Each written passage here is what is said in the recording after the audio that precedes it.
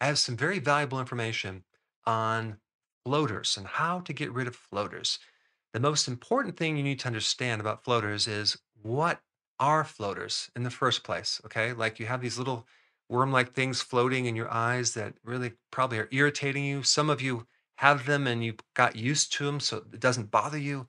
What is a floater for real? Is it just some broken collagen protein that just kind of floating around? And it's basically this you have this accumulation of this collagen fiber in a certain form that is damaged from, and I'm going to give you a new word here, it's been glycated. What does that mean? It means that it's stuck to a sugar molecule. So when you connect a protein to a sugar or a sugar to a fat, it gets stuck. Now that protein becomes unavailable and it kind of clogs up the body.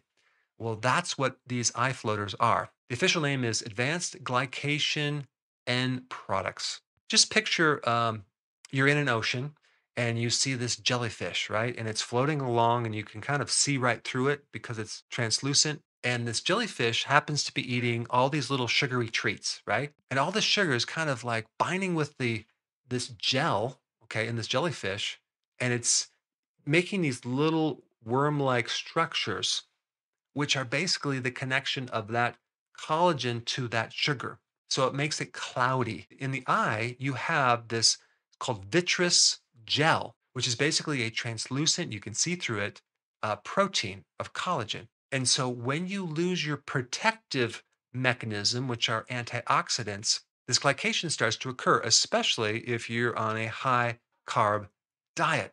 Now, here's a question is there anything that can get rid of this? Okay. And the answer is yes. There are many things that you can do or take that are considered anti glycation. In other words, they prevent this binding of the sugar to the protein. One reference that I found is called the PDR. Now, it's not in the current versions, it's in the older versions. They have a natural remedy for eye floaters. And all three of these remedies create an anti glycation effect. So that would be choline, inositol, and methionine. So you would take choline in a thousand milligrams per day. That's one gram. You would take inositol, 500 milligrams each day. And then with methionine, you would only need 200 milligrams. So that is the ratio that was advised years ago in the physician's desk reference. Now, I found a lot of other research on this topic that you can also add to this mixture.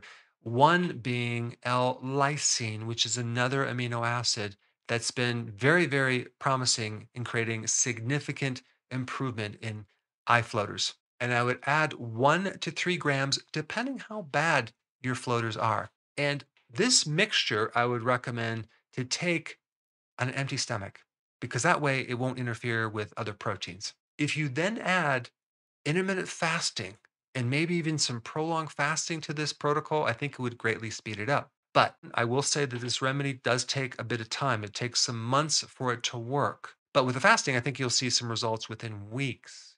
The other advice I'm going to recommend is to start to cut down your sugar. Okay. I'm talking about going on a low carb diet. And the name for that is the ketogenic diet. So you'd want to add that as well, because if you take a look at a diabetic, usually has higher amounts of sugar, they have much greater incidence of having these floaters than a non diabetic. And when you do keto, you want to do the healthy version of keto because of the antioxidants. We want more antioxidants. So, vegetables with high vitamin C would be very helpful. Also, meats and seafood that are loaded with zinc. Zinc can also help give you an anti glycation effect. Now, because of the censoring and the suppressing of the algorithms on YouTube, it's becoming more difficult to find my content and there's a lot of content that I cannot put on YouTube, unfortunately. So, to make sure you have full access of all my information, go to drberg.com and subscribe to my newsletter by clicking the link down below in the description. I will see you on the other side. Now, since we're talking about your eyes, there's some very interesting information about eyes in this video that I think you'll really enjoy right here.